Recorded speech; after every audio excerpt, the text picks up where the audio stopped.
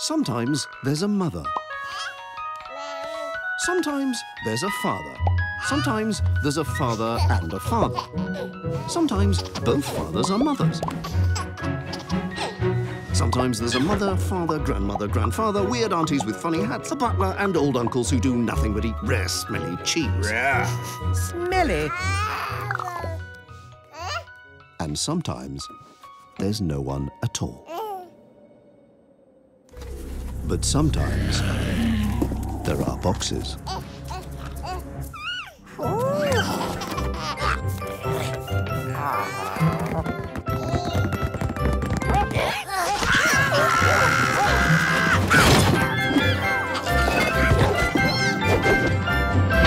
Families come in all shapes and sizes, even rectangles.